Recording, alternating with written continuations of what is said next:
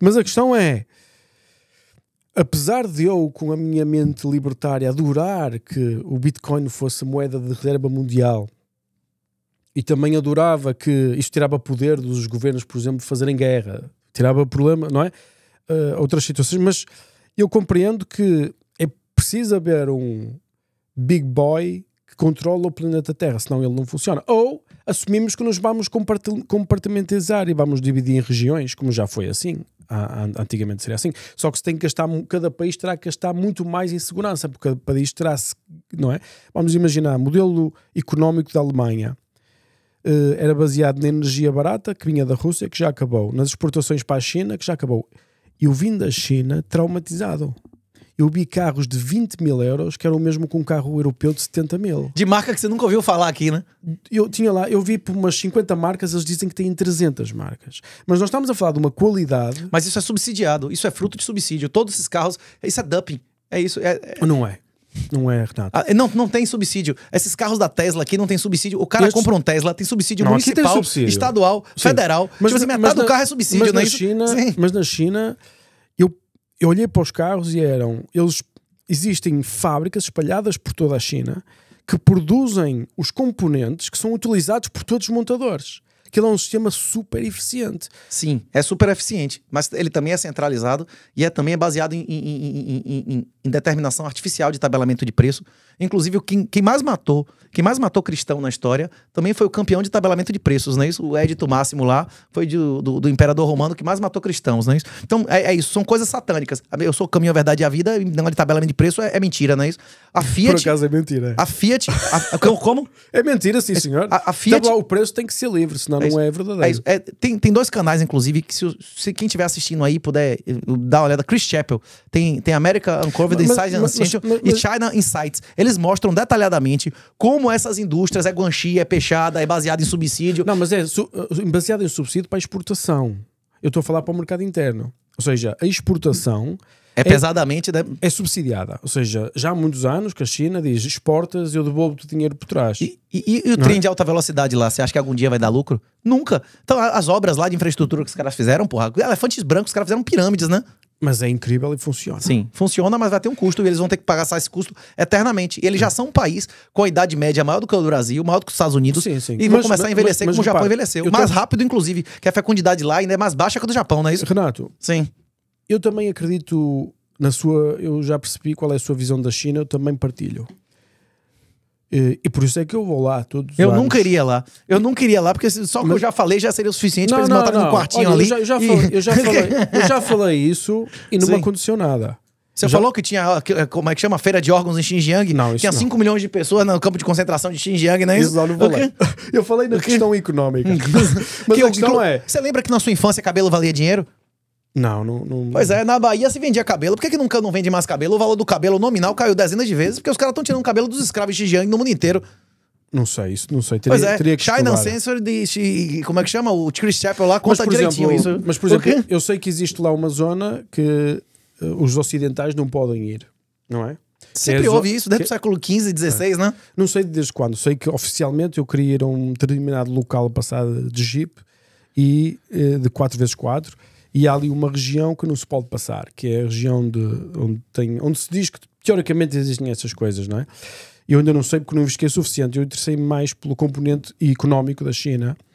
E essa problemática, você falava, por exemplo, da idade e da motivação.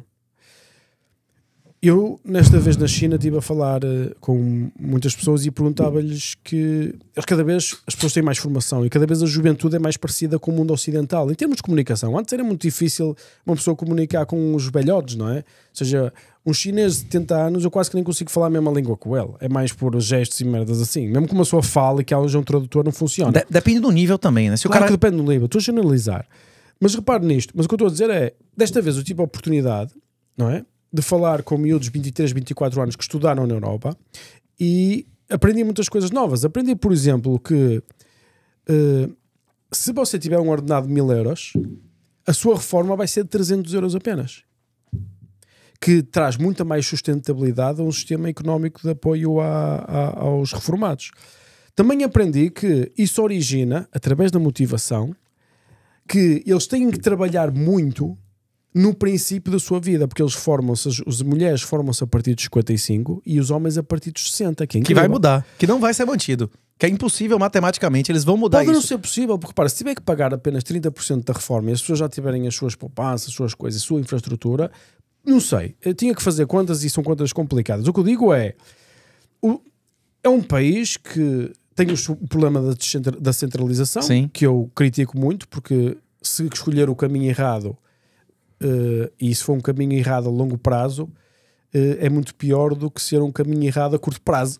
Ou seja, quanto mais se desloca para o sítio errado, pior fica.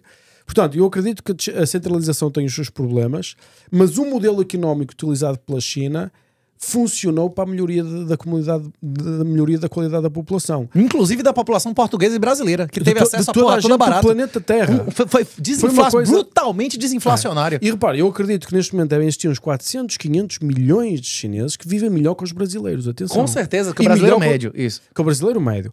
E vivem melhor que o português médio. Porra, Shenzhen, Hong Kong, puta que pariu, Não, bicho. cidades que nem- eu nem sei o nome, com 2 ou 3 milhões e com uma infraestrutura impressionante. Foi o que eu lhe falei lá que a gente tava batendo papo. Tipo assim, as cidades brasileiras grandes não tem comparação com as cidades da. da, da- Não, não, a cidade que eu nasci. A, cidade, a minha cidade tem 3 milhões de habitantes. Ela não tá nem entre as 5 maiores do Brasil. Ela seria a segunda maior cidade da Europa, não é isso? Exato, A- exato. a- na E- na China nos- não estaria nem entre as 100, não é isso? Mas, por exemplo, nós olhamos para a infraestrutura do Brasil, é uma anedota à beira da China. É uma coisa.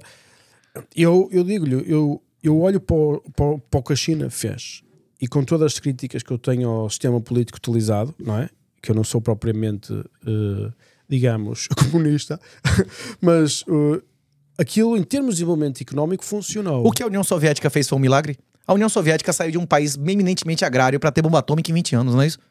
Sim, E mandar a gente pro espaço em 30. Isso foi um milagre ou não foi?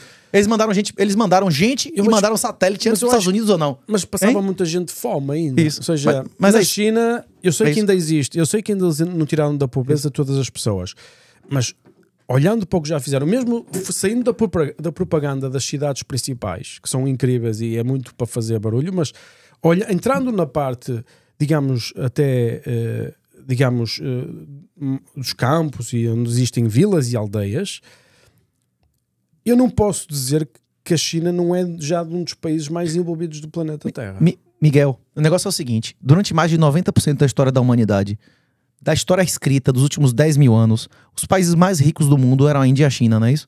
Isso por acaso não sei, mas eh, eh, é, é, é, você No Império Romano já tinha quatro vezes mais gente na Índia e na China do que no Império Romano. Que no auge não deu 40 milhões de pessoas, não é isso?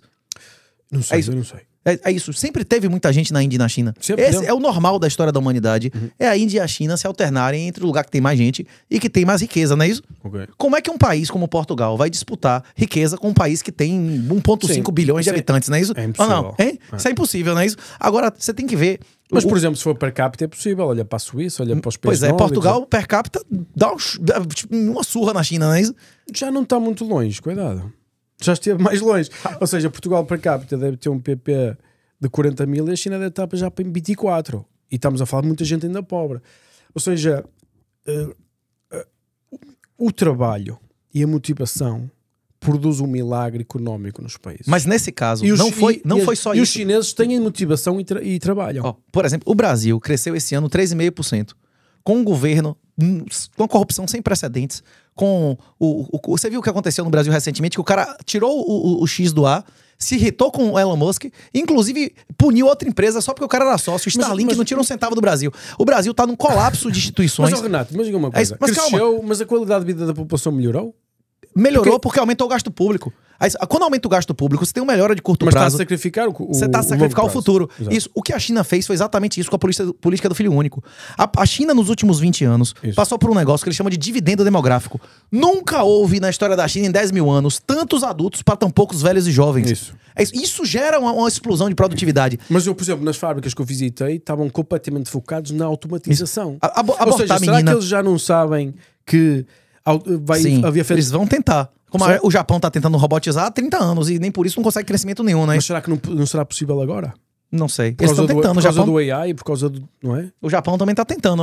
O Japão está automatizando Mas aí não desde havia- que a gente mas nasceu, não né? havia, mas não havia tecnologia, não é? Agora já isto pode ser uma revolução, não é? Não, é, é, Eu acredito que eles podem ter ganhos marginais, mas o nível de crescimento que a China teve nos últimos 20 anos não vai ser nem um décimo nos próximos, né? Ok, isso também estamos de acordo. é? E o gasto público lá tendência a aumentar exponencial. Mas também, se tivesse o mesmo, em, de- em seis anos dobrava o PIB. Pois é. seja, não É isso. também é demais, não é? E uma criança não custa pro Estado um vigésimo do que custa um velho, não é isso? Criança não recebe aposentadoria. Uhum. Criança não tem negócio de. é, como é que chama? Remédio de, de diabetes, pressão Isso, alta. Isso, isso. Tem custo muito inferior. É, Mas aquele, aquele estado é um bocado mais frio. Se calhar não se interessa tanto pelos velhos como, por exemplo, na Europa e no Brasil. Percebes Pois o que eu é. quero dizer? Rapaz. Ou seja, sei lá como é que aquilo vai ser. A questão é, são mentalidades diferentes, são culturas completamente diferentes. Por isso é que eu gosto de visitar e ver com o meu próprio olho, vamos É. chamar assim. Os chineses, quando eu vim para os Estados Unidos pela primeira vez em 98, Uhum. não existiam 200 mil brasileiros aqui. Quantos brasileiros o senhor acha que tem hoje nos Estados Unidos? Os Estados Unidos hoje, eu vou dizer um número à sorte, vou dizer eh, 5 milhões. Tem 2 milhões. Dois. Eu acredito que até o fim da próxima década vão ter 5, o senhor não acha, não? Quantos, japone... Quantos chineses de verdade, que eles chamam de rede de bambu, tem no exterior? É mais, é mais de 300 milhões. Essa, rapaz, 300 é- milhões? tem o que eles chamam de rede de bambu, que são chineses, filhos e netos de chineses, não é isso? Pessoas que falam chinês dentro de casa. Uhum. Tem mais gente e muito mais riqueza de chineses fora da China do que, do que de brasileiros no Brasil. É isso. É, é, eles chamam de rede de bambu. A classe média, os ricos na Indonésia, em Singapura, em um monte de lugar não são chineses. Sim, tem muito rico chinês. Pois dúvida. é, é isso. Ou A- pelo menos que fala chinês. É isso. A- Agora, se esses Na caras. Malásia. É isso. não é? A, a conta. a- a- a- tipo assim, foi o que eu falei. Durante mais de 90% da história da humanidade, os, os- os- lugares mais ricos do mundo em, em acumulação, não, não em absoluto, é, não em, em proporcional por per capita, Isso. mas os impérios Total, que tinham né? era Índia e China, porque tinha mais gente, não é isso? Isso. É isso. É- é- Essa riqueza, a, a questão é essa. Foi o início da nossa conversa. Se não valer a pena para as pessoas que têm riqueza ficar lá, eles vão ficar lá? Não. É, a tradição de lá, inclusive toda a família do mal, morreu 21 dias depois, né? Camarilha dos Quatro, não é isso? Eles mataram a mulher e os filhos e todos os parentes de mal. Você acha, que, que, acha que, que esse Xi Jinping mandou prender, humilhou o cara que botou ele lá no último. Não, ele não, não prendeu, o cara humilhou publicamente. Podia ter prendido de manhã, mas ele queria que fosse na hora ali para ele ser humilhado. A tradição milenar lá é o expurgo. Xi Jinping quer que os filhos dele tenham Bitcoin ou não? Eu não sei. ele a quer que exista Bitcoin? Porque se não existir Bitcoin, talvez o filho dele não leve nada, não é isso? É, a tradição lá é o expurgo. Ele sabe que um dia ele vai sair Ou do seja, poder a sua- e a família dele que não tiver na China vai ser destruída, não é isso? A sua tese, então, é que até os próprios governantes querem que exista Bitcoin. Com certeza. Quanto mais corruptos e violentos eles forem, mais eles gostam de armas. E a criptografia é uma arma usada em todas as guerras relevantes dos últimos 5 mil anos, não é isso? Mas a sua tese, então, é que, como forma de escapatória, como forma de se conseguirem movimentar, usam a moeda porque é, é, é uma forma de, de distribuir pela família. Por... No, no Brasil, o uso de dinheiro físico cai a metade a cada 30 meses. Em Portugal, acredito que seja semelhante, não é isso? Sim, o dinheiro está a ser cada vez menos utilizado, não Vai acabar a moeda física relevante nessa década, né? é? É, acho que sim. Pois é. Pessoal, essa vai ser a única alternativa.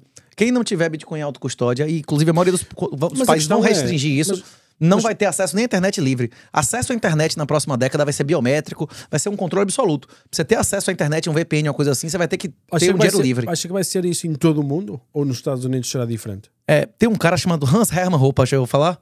Como? Hans Hermann Hoppe. Escreve Hoppe, H-O-P-P-E. Ele é um dos grandes libertários, ele tem um livro que é Democracia, o Deus que falhou. Ele é um dos, eu acho que é o maior, é o mais importante libertário ainda vivo, que produz e tal. Ele, a- a- ele tem uma tese de que os países menores tendem a ser mais livres que os maiores. Inclusive, sempre que eu digo que, que, que o Bolsonaro lá foi um bunda mole, foi a cadela do PT, que foi o governo mais feminista, aí eles dizem, ah, fazer o que Bukele fez é fácil porque o país é pequeno. Na verdade, é o contrário. É fácil para um vagabundo matar o prefeito e difícil matar o presidente, não é isso? Porque quanto maior o país, mais o cara tá afastado da população, não é isso? Tanto que as grandes revoluções comunistas foram países gigantescos, o maior de, de todos, né? China e, e Rússia, né? É isso. É, é, é, é, eu acredito que os países menores eles vão ter uma motivação muito maior para abrir as pernas. El Salvador ganhou ou perdeu abrindo as pernas para Bitcoin. A Suíça agora, que inclusive apareceu o Fraga, que fugiu do Brasil há 10 anos atrás. Tem cantão da Suíça, Tsugi, que você paga lampção e nunca mais você paga imposto de renda. Nenhum, nem, sus, nem se... Tem inclusive o acordo lá que se mudar a lei, você continua sem pagar nada, não é isso? Não tem um Crypto Valley lá em Tsugi? Uh, É isso. Não sei, Pra- acho não, Suíça acho que- bem ou mal abrindo as pagar- pernas pro Bitcoin. Não, não tem que pagar sempre 300 mil euros por. Não. uh, ah, não. Não, tem Na um lump sum. Você paga uma É vez. Não, não paga uma vez. Você paga, uma todos vez. Ele vai fazer um cálculo de perpetuidade desse negócio lá. Tem vários escritórios de advocacia, inclusive você entra no site lá e você paga. Você só paga uma vez? D- Eles vão botar um valor miserável, entre 10 e 20% do seu asset, e depois você não vai pagar porra nenhuma nunca mais. Ah, ok. Tudo bem. Mas mesmo assim é caro, 10, 20%. Depende do que você fizer. Se você for um trade, depende de- do quanto você tiver, não é isso ou não? É, depende de quanto tiver, quanto é que tem a expectativa de ganhar. Depende Pois é. contas, Eles né? fazem, botam Mas não conta. sabia que existia isso, lump sum pagar uma vez. É, mas pra, pro Crypto Valley foi bom ou ruim abrir as pernas pra Bitcoin? E Chegou muito milionário lá? Pra El Salvador foi ruim?